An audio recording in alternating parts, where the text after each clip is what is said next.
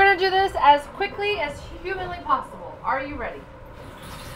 Okay, doesn't matter because we're doing it. All right, at this point, I need everyone quiet because I'm recording this for people who aren't here for when I'm gone next week. Uh, so that includes pottery kids, no talking, please.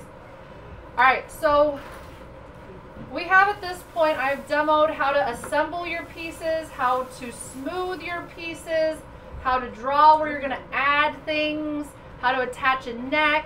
We've talked about plumping up your shape. Yeah. Indigo, while I'm teaching, can you please go get yours? Thank you. I want to put it in the video because it's so good. Okay. Now, I've also shown you guys how to create a stilt that will keep your piece in the position that you need it to be in so that you can build your legs. Now, if you look here, imagine that this is the board and you can see it this direction. You guys see this? Those are some big old legs. Okay? So if that's too high, you might need to like cut some of this off. Uh, will you open it up and just stick it over there? Yeah. Like right here. Okay? So maybe this is more of an accurate height for my piece. Okay? You want to put it in the position that it is going to be when you do precarious parts. Everybody feeling me? Okay? Now, when you build your precarious parts, depends on what kind of part you got going. I'm going to show you how to do a few. If your piece is wildly bigger than your thumb, then those need to be pinch pots. Okay, so if it is like a ginormous back leg, does that make sense? If I want to make like a big chubby butt and a big chubby back thigh right here, I'd probably do a pinch pot and stick it on there. Everybody feeling me? But what we're talking about is the more skinny parts. Okay? If you have a part like maybe I want to make really big front legs right here, first thing is is if your two front legs are going to be the same, I would start by starting with the exact amount of clay that's the same. If you start with the same amount of clay, you'll be more likely to end up with two legs that are the same size and shape. Everybody feeling me? Okay? So, and your back legs are probably gonna, in my case, need more clay because it's gonna have that big tushy on it. Everybody feeling me? So these are gonna be my front legs. Now what I'm gonna do is I want more clay that I'm gonna need. Okay? And here's why. I am going to build these solid. Okay? These are gonna be solid. But what I wanna do is I wanna leave a built-in band-aid. A really chubby part here that's gonna stay wet. Everybody see that? That is going to be the area where I squish it into the body. It's gonna be a built-in band-aid. This is not part of my leg. My leg is going to begin below that line. Everybody see that? This is a band-aid, not a leg. Everybody following so far? Okay. So what I'm going to start doing is I'm just going to start squishing and forming my leg. Now it is a good idea to build it all in one piece. Like if you decide, oh, I didn't have quite enough to make my leg, and you decide to slip a score on a piece, that's more likely to break off. Does that make sense to everybody? So I do recommend that you, it is going to take you a few trial and errors. You've never done this before. Does this look like a leg? That looks like a really awful leg. That doesn't look like anything that would come out of any kind of creature. Okay? So I'm really, I'm not going to do it right now for the sake of time, but I'm going to take the time to really form and like make a knee and like put a cap on the back and like put like a really awesome, and I'm going to build this thing right here 100% done. I'm going to sculpt in the muscle. I'm going to put in all the details of that knee. I'm going to make sure and use whatever tools I've got to make sure that this is exactly how I want it. So if it's not how I want it, I might scrape some away. I might, I'm forming and I'm building and I'm being accurate right now. Because what we're gonna do is let's say that this is my leg. Can we all pretend that this is a glorious leg? Okay? This is not a glorious leg, but let's pretend. Everybody following me? What you're going to do is you're gonna take a little piece of your bag and you're gonna take, rip a piece of it off and you're gonna spray, spray, spray this thing. Okay? And what I'm going to do is I'm gonna just cover, notice I'm going right to that line that I drew the Band-Aid at, okay? The plastic is not going any lower. I am just going to preserve this wet clay at the very, at the Band-Aid. That is going to remain wet. Everybody feeling me? Now, is this thinner or skinnier than my thumb? This is not gonna, this is not thin enough. So I'd have to keep molding this. It has to get thinner than your thumb. If for some reason your pot does not get thinner than your thumb, once this has set up a wee bit, I would leave it a night. And when you come, you're gonna still bag this. Does that make sense to everybody? But you're gonna keep this extra wet. So it's gonna be out of the bed squishy wet. Does that make sense? And then we're trying to allow this to set up to be close to leather hard, but not really.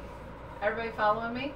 So let's pretend that I bagged this tonight with my piece really tight. And the next day I came in, it was a little bit firmer.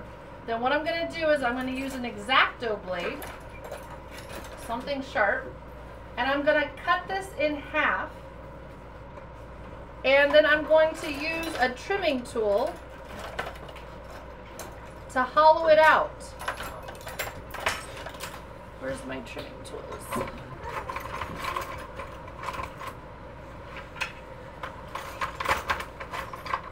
Okay, this will work. I would use the round ones. This is a square one. But you can just kind of dig a hole inside of here and make that hollow. Everybody see now? So now my leg is hollow. And then I will also, I don't probably need to, well, maybe a little bit of that. So I'm going to dig this down in. And your clay will be a little bit firmer, so you might have to give it a little bit more oomph. But because it will be set up a night, it'll be a little bit firmer than mine is right now. Everybody see how mine's like seriously like a problem? Now before I finish, I'm thinking about where this is going to attach and I'm going to put this back together. But I have to have an air valve to allow that air to come out. Does that make sense to everybody?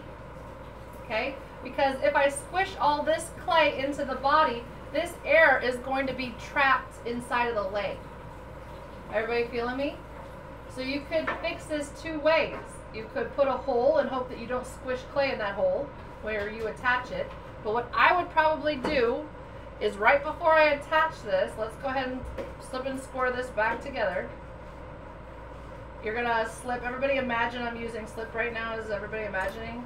Yes. I'm imagining slip is on there. And then I squish it back together uh, with all that slip. And if I need to, I put a band-aid on it and then I carve that band-aid away so you never knew that I opened it up and put it back together. Now I have a hollow leg. Is everybody clear on that? Okay. So what I would do is when this is like close to leather hard, I would stab this through the bottom because nobody's gonna see the bottom. Okay? And so that's gonna be fine. It went and it released that air out of there. Everybody following me? Okay? Now, this is set up.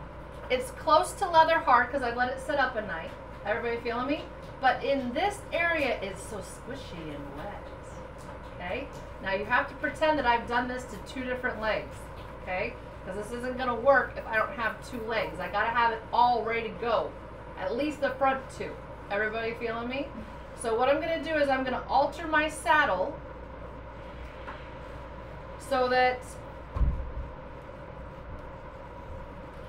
I'm going to alter my saddle so that I've got space here to attach my front legs. See how now my saddle's just on the booty? Everybody see that? I'm going to get the angle that I want. I'm positioning it how I want.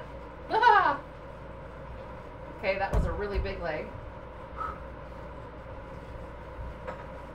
Okay. Anyway. And so what I'm going to do is I'm going to go ahead and I'm going to make this a little bit shorter. I'm to make a place right here. And this is the point right here. If you wanted to go and put a hole into the body so you didn't have a hole on here, you want to squish it where it's going to go. And you're going to draw where it's going to attach. It's a little wet today, y'all. And what I'm going to do is I'm going to put a hole right here, fairly large. I have to have enough space here to actually attach it.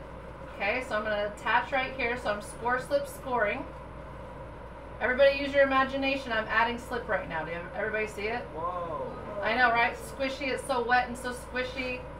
And then what I'm going to do here is I'm going, I could do it this way. If you didn't do it through the foot, you could also connect those two holes so that that hole goes all the way through. Everybody feeling me? So, but you want to make sure that this wet clay that you've got at the top doesn't squish down and close that hole. Okay, and you want to make sure that these two holes match up, which they will. Okay, so now I'm going to squish this on there. I'm going to score, slip, score all this extra clay. And anywhere I squish the clay, I want to slip. So slip, everybody see the slip? Slippy, slippy, slippy, slippy. Everybody see that? Okay. I score it again. Now this extra stuff here, when you have a leg, think about your butt. Okay, when your leg is attached to your torso, it's got muscle there. Everybody feeling me? So this, it looks like it's ridiculous right here, but it's actually a gift. You can build the muscle right now. Okay, so I'm gonna kind of squish this clay up into this part and make it look oh so nice and fresh. Okay, if I don't have enough, I can use a little band-aid. That didn't have enough right there. And so if my built-in band-aid wasn't quite enough, I can add a little bit more. You need to get rid of your seam everywhere and clean this up. Okay, and now I should be able, this is such a weird shaped thing, to stick this on my saddle while I do the same thing for the other leg. Everybody feeling me? Does everybody see it? Do you get it? Do you understand it? Now, I would attach two legs at a time because you want those to set up before you do the back ones. Okay, you want to have this saddle under there so that they become one. You're training it to be able to take that shape. Now, when I did, when I did the pander, or when I did my hamper wolf here, I built it so that um, the belly took the floor. Everybody see how the belly sits on the floor? But I also kept just a little stilt of clay here to support the tail end while I attached the legs. Now everybody see how these legs, are, like I've actually sculpted these to be nice? That's what I'm talking about. All of this was wet.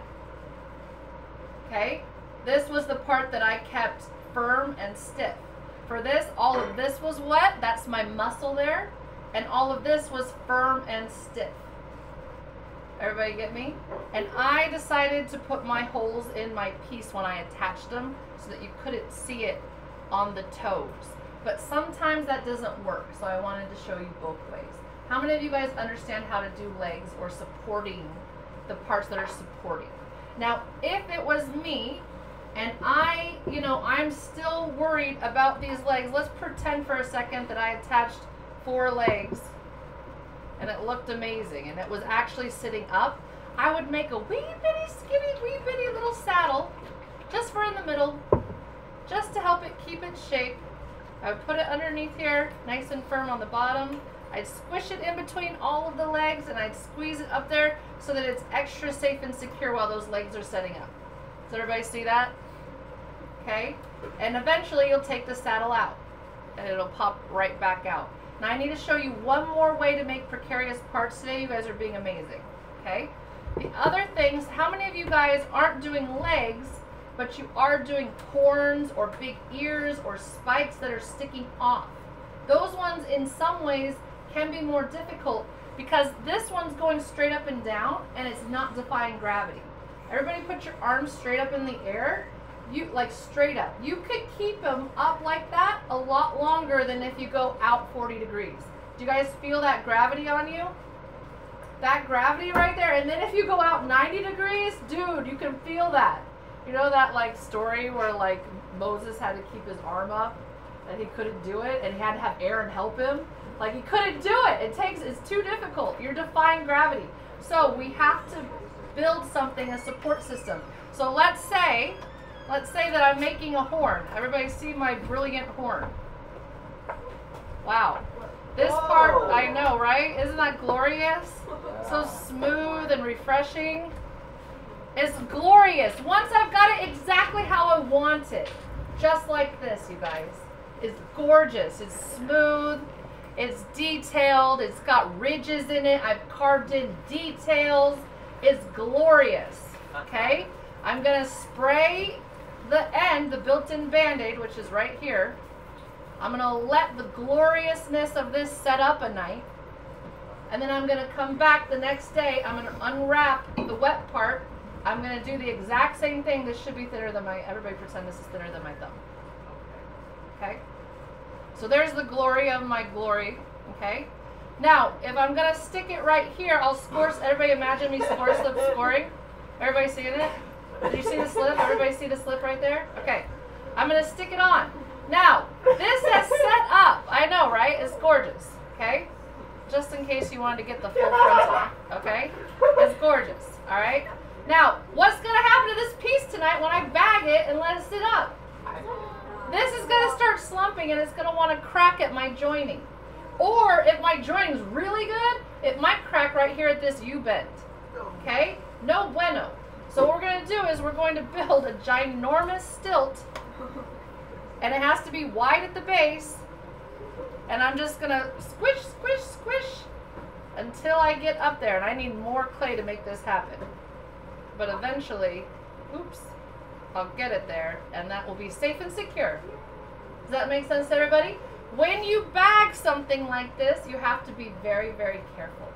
Okay? You and when you're moving, you guys have to tuck in your chairs because everybody's going to be moving around with a huge precarious monster that's teetering on half wet legs.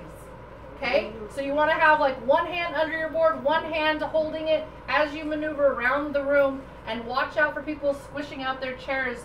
Uh, you guys, one, one, this, this girl had worked like two months on this amazing, huge animal sculpture and a kid she was going behind to put her piece over on the shelf and the kid squished out really fast on their on their chair knocked the whole thing off and she just fell to the floor in tears. It also happened last year too. Okay? Was it you? No? Okay. Yeah you you dropped something last year. It was a pot. Okay so it happens so watch your surroundings these are really really breakable everybody feeling me how many of you guys feel like you are now? This is crucial. You cannot add parts until they're done. You got to sculpt them and mold them and make them glorious. Okay? And then attach them. Now I want to show you something that looks more glorious than my glory. And that is Sweet Indigos. Okay? So look at Indigo's nice little stilt for the booty. And look at that awesome head. See how this head is getting so much detail? Is it, can you guys see it? Autofocus? Look at that. Okay? Indigo is going to continue putting so much detail on this entire piece and is not even going to build the legs until this entire piece has all the sculpting, all of the adding, all of the carving, all of the texture, all of the wrinkles, all of the feathers. Everything that Indigo wants to do to this needs to be done before you add precarious parts. Is that clear to everybody? So this level of detail that she's getting in here is awesome.